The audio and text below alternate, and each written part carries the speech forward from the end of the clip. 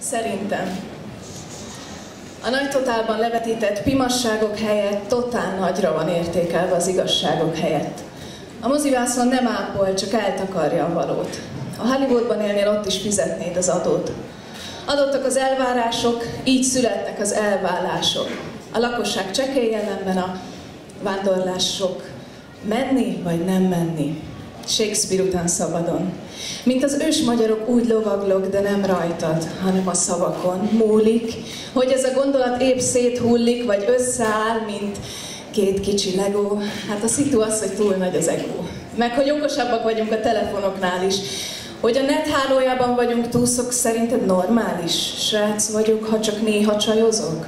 Vagy az már mimóza, szent fazék, esetleg buzi, ha nem minden nap más nőtől jár a puszi. Fordított esetben a lányok meg kurvák, de ha minden kulcs nyitja, tényleg a lakatot kurták el. Na mindegy. Szerintem a pécsi lakatfal se bánja, hogy oda téved mindenféle ember, fia, lánya, bár nálam totál más a mérce. Szerintem nem kell a nagy hűhó, hogy ő is megértse. Ha rajtam állna, plakátra csak verset szabadna írni. Nem kellene hétfő reggel szomorú vasárnapra sírni, Nálam az újságíró is indulhatna tiszta lappal, de csak akkor, ha elégetünk minden felesleget, és nagy-nagy tüzet rakunk, hogy melegedjenek az emberek.